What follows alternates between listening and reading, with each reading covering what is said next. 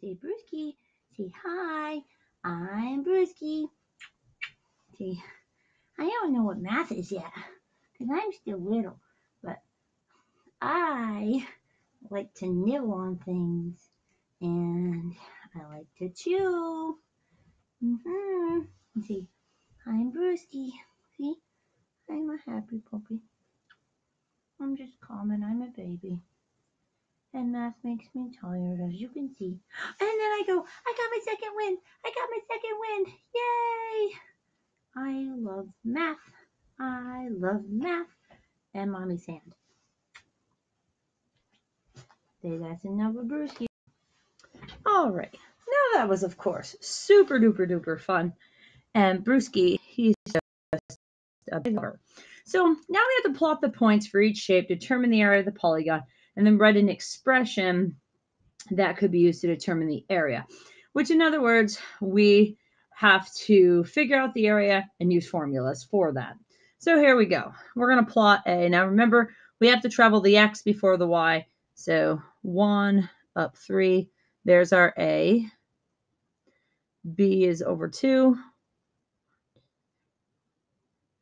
Up 8. C is over 8, up 8.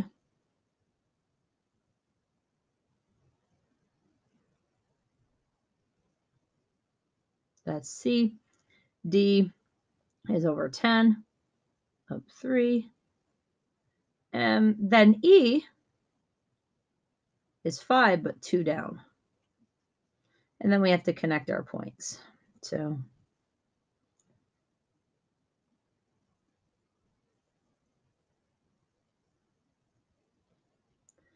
and we have a five-sided shape. We could know that by how many sets of uh, coordinate pairs we have. We have five, so we have a pentagon. So we have a pentagon, and Houston, we have a problem. Um, we have to find the area of this odd shape that doesn't have a normal formula.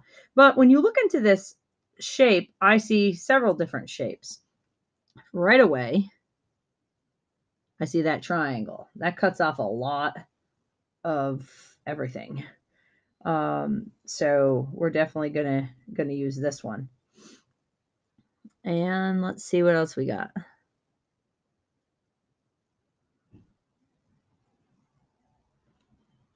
We could go a triangle. We could do a very small triangle. We have a rectangle. Um, Yeah, I think we can do that. Okay. So it's a little weird, but we're going to go with it. So first of all, let's tackle this triangle. So we have one, two, three, four, five, six, seven, eight, nine, I think it is. From 1 to 10, so that base is 9. So that whole thing is 9. And height one, two, three, four, five. So this triangle is base times height divided by 2. Area equals, the base was 9. The height was, I'm pretty sure I said 5. Divided by 2. 45 divided by 2. Area equals 22 and a half and we don't we just call them units squared for right now. So that's that big triangle. So now we have this little triangle, which we have a base of 2. So area equals half base height. I'm using the, the formula so you can see how they're used. The base is 2. The height is 1, 2, 3, 4, 5. Half of 2 is 1. 1 times 5 is 5. 5 units squared. So that's that triangle. That's that big triangle. A rectangle is kind of easy to figure out. We have one, two, three, four, five, six by one, two, three, four, five, six by five. So we have area equals length times width because it's the rectangle. So area equals six times five, area equals 30 units squared. and that's for the rectangle. And now we just have this little triangle right here, which is a 1 by 1, 2, 3, 4, 5. So area equals base times height divided by 2. Base is, I think, 1. Yep. Base is 1 times height 5 divided by 2. 5 divided by 2, 2.5. Okay, unit squared. So we got, take out the height, so we don't need it right now. We can easily count that out. So we have that triangle, rectangle, triangle, the big one. So uh, we add them all up. So we have 30, and then we have 22.5. We have a 2.5, 30, 2.5, 22.5, and a regular 5. So we have 5 and 5 is 10. Carry the 1. 5, 6, 7, 8, 9, 10. 3, 4, 5, 6. So our whole weird shapes area is 60 units squared after we add that all up. All right, so now we're going to look at one more weird one because this is stuff we do all the time. I was actually working on it with some high school kids the other day, and same kind of concept here. Got to weigh down my doc cam because it's too light. All right, so negative 10 positive 2. That's my x. Negative 1, negative 2, negative 3. Up 1, 2, 3. This is y. We're doing a triangle here. And z, negative 1, 2, 3, 4, 5, 6. Up 1, 2, 3, 4. Oh, down. Sorry.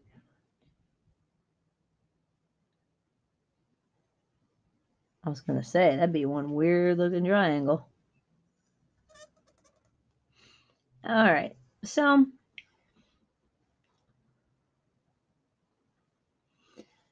see how they all cross diagonals? So the easiest way to do this is to build a big rectangle around the outside of it. So this is what I mean by that.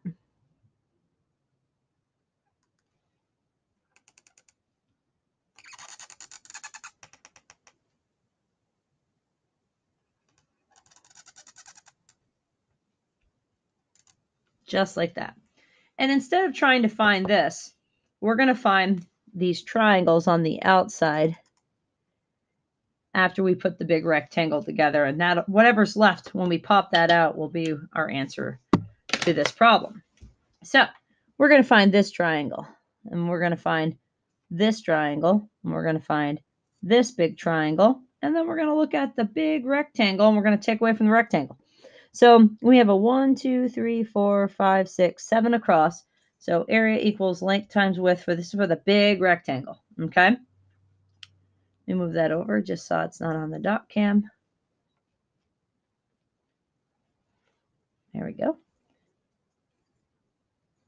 So we have a 1, 2, 3, 4, 5, 6, 7 times 1, 2, 3, 4, 5, 6, 7, 8, 9, 10, 11.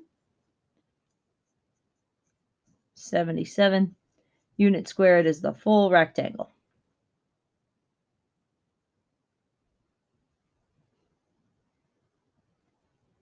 Just wanted to double check.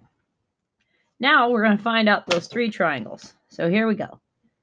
We have to go all the way over to this dot right here. So we have a 1, 2, 3, 4 base by a 1, 2, 3, 4, 5, 6, 7. That. This one's got one, two, three, four by one, two, three, four, five, six, seven. And this has got one, two, three by one, two, three, four, five, six, seven, eight, nine, ten, eleven. All right, so here we go. Notice how these two are the same? Whatever we get here, we can just plop there. So area equals half base height, half of 4 times 7 have